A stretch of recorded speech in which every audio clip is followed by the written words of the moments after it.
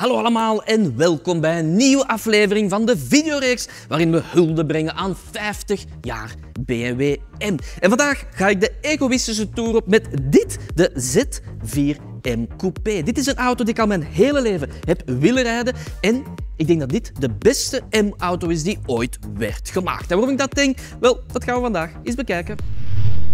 Paniek bij BMW in 2006, want niet enkel wordt de nieuwe designtaal van Chris Bangle maar ja, matig onthaald. Ook die iconische E46 M3 gaat uit productie. Die auto met al even iconische 6 in lijn. Waardoor de M-divisie enkel nog maar de M5 en M6 aan de man brengt met die gigantische joekel van een V10. En dat zijn twee vette auto's natuurlijk, maar bezwaarlijk echte rijdersauto's. Insert de Z4 Coupé. Een auto die geheel toevallig in 2006 het levenslicht zag en meteen ook een volbloed M-derivaat kreeg. We moeten er niet flauw over doen. Chris Bangle kreeg enorm veel kritiek toen hij al die nieuwe BMW's uitrolde, het design daarvan.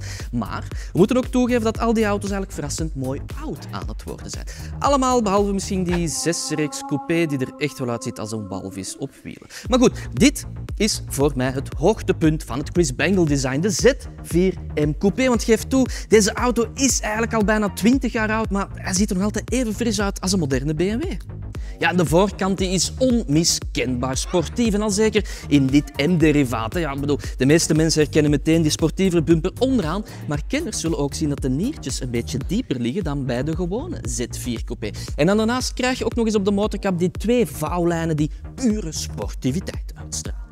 Langs de zijkant zie je meteen dat dit een echte Grand Tourer is. Je krijgt een gigantisch lange motorkap voor die grotere motoren. De cabine die staat ver naar achteren. En hier krijg je een typisch designkenmerkje van Bengal. Die heup die als een soort van tweetrapsheup ja, aan de auto wordt vastgeplakt. Brede heupen, volgens mij was Chris stiekem een snoeperke. En aan de achterkant kan je natuurlijk niet rond die vier eindtempers. Ik bedoel, dat straalt gewoon BMW M uit. En die iconische eindtempers die hangen ook vast aan een zeer iconische motor. We gaan eens kijken. Want voor deze Z4M Coupé dook BMW in haar Greatest Hits archief. En de hitsingle van dienst, ja, dat is dit onder de motorkap. Dat is namelijk de S54 3 liter 6 in lijn. Die motor komt los uit de E46 M3 en is een pareltje der ingenieurschap. 343 pk, 365 Nm koppel en toegegeven na moderne pk-maatstaven is dat niet meer hallucinant. Maar wat als ik je vertel dat het volle gropvermogen pas bij 8000 mechanische toeren wordt behaald? Nee, dames en heren, zo worden ze tegenwoordig niet meer gemaakt.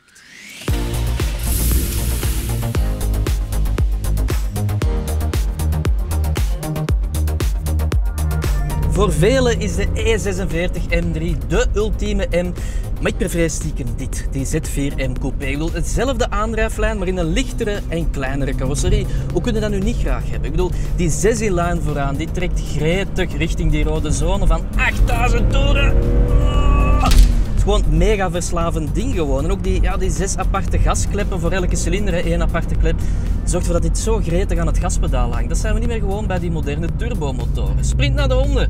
Ja, 5 seconden, een top van 250 km per uur. Kan je nog altijd mee mee in het moderne verkeer.